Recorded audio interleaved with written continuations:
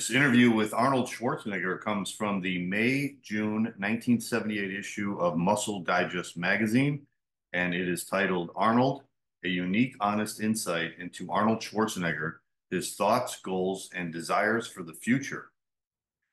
Arnold Schwarzenegger, his name has become synonymous with bodybuilding, or more aptly stated, bodybuilding with his name. He is the single force that has given the sport acceptance and made it possible for so many others to capitalize on. Arnold has done for bodybuilding what Presley did for rock and roll.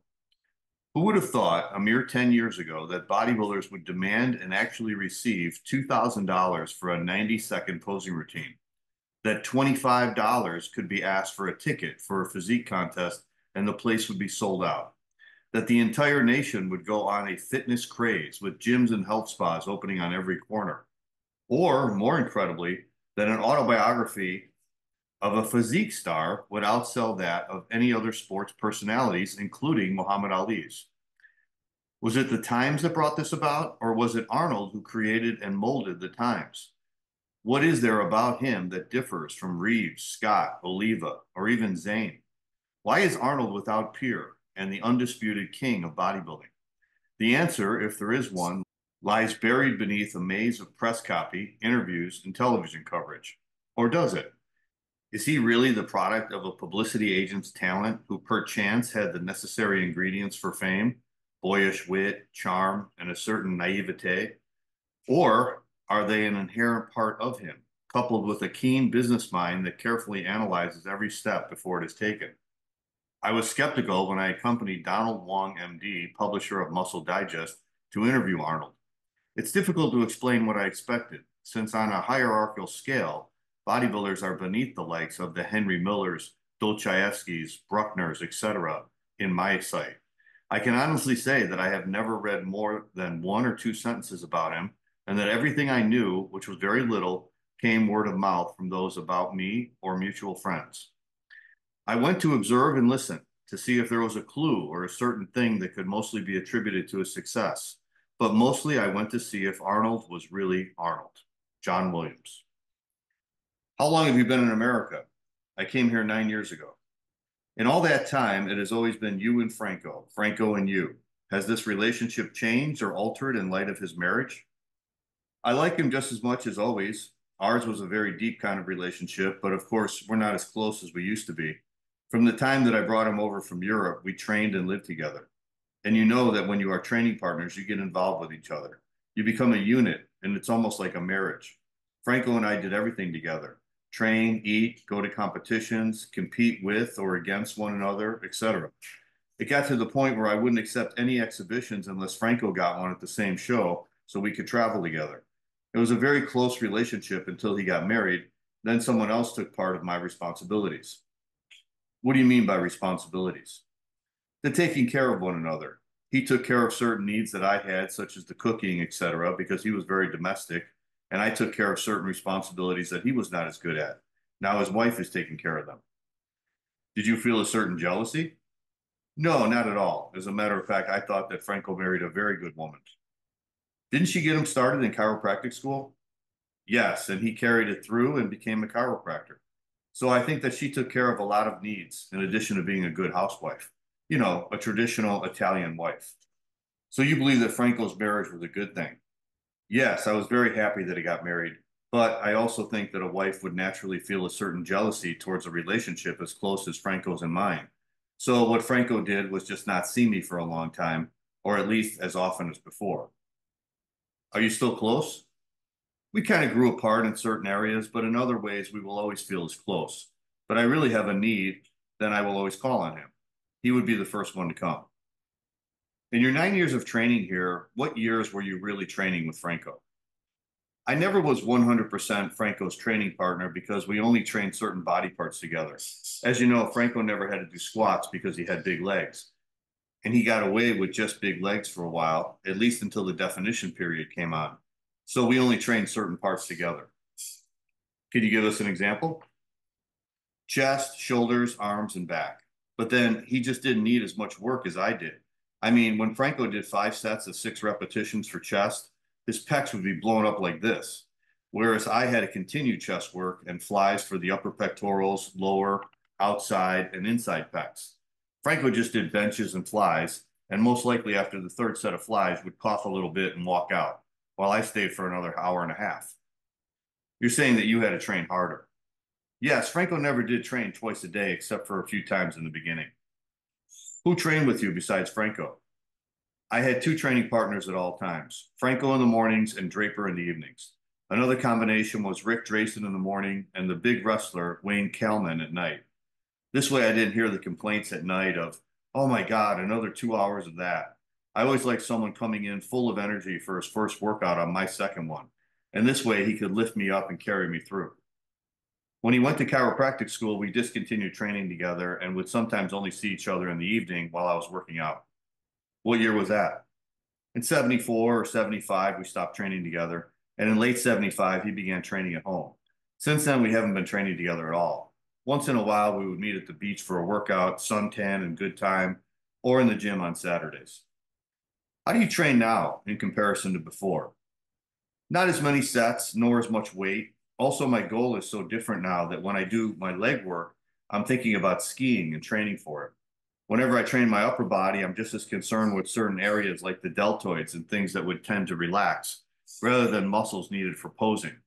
I know that I will never be in a situation where I'll need a side chest pose. Therefore, I'll never train the chest again, and I haven't for the past two and a half years. The same holds true for the biceps. My purpose is so different now, especially with the Conan films coming up.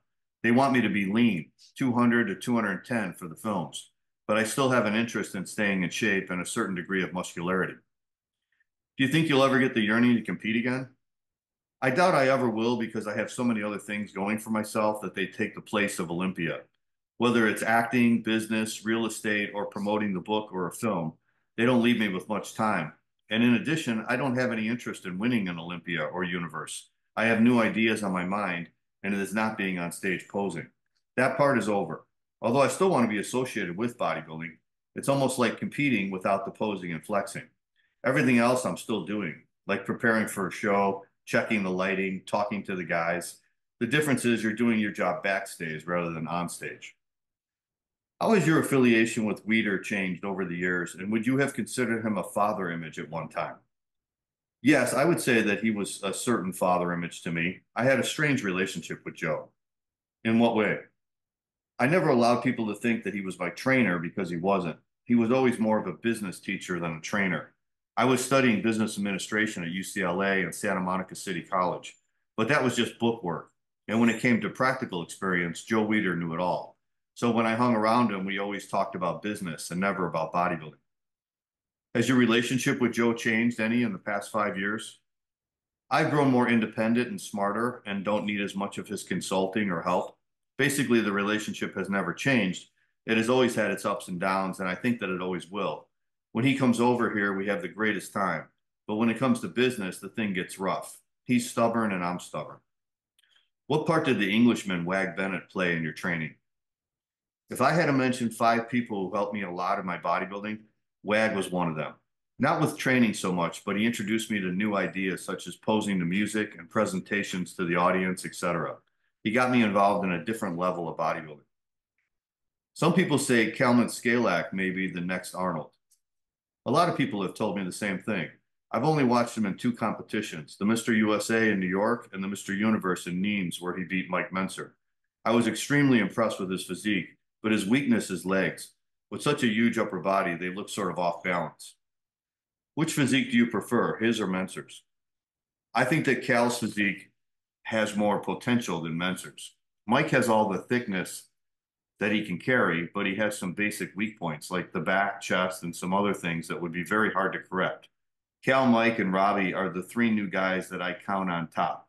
Comparing them, they all have weak points, but it seems that Cal could go farther than Mentzer, but I could be wrong. Is your relationship with Sergio Oliva as caustic as it seemed on the Tom Snyder show? We never got along, and I think that he took the magazine stuff seriously. You know, the black and white challenge that Weider created the Cuban bomb against the Austrian oak. Sergio took it serious, and that's why he started this to dislike me. I thought he was the greatest bodybuilder of all time, but his personality and character were lacking. He has a tremendous inferiority complex. So in return, I began to dislike him. The people liked it though. It seemed like every time you competed, he came in too smooth. He did, and I was fortunate in a way. I felt that he would have been in shape. He could have beat me. Not in 74 or 75, his time was over.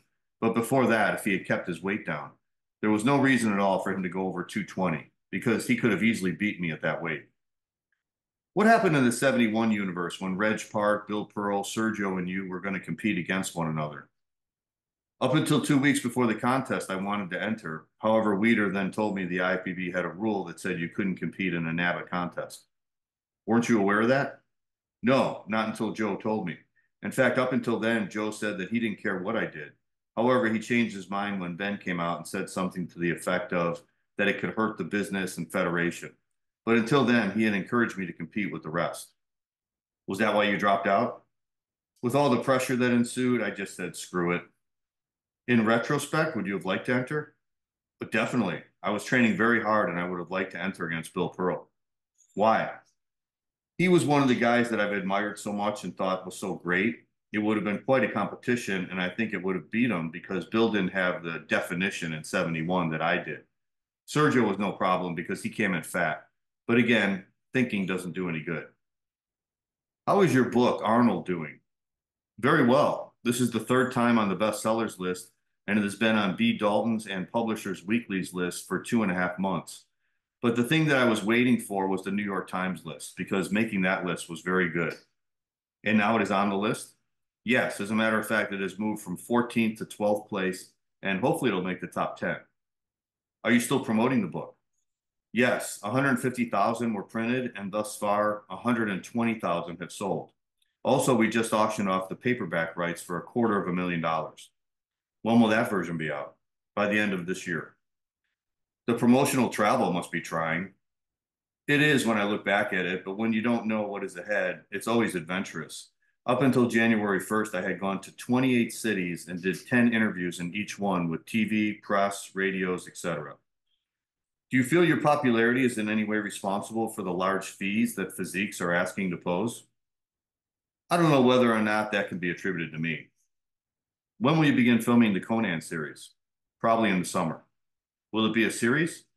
No, we will do one major film, a 10 to 15 million dollar budget for Paramount. If it goes well, then they see a possibility for a lot of different stories. But you are only committed to do the one?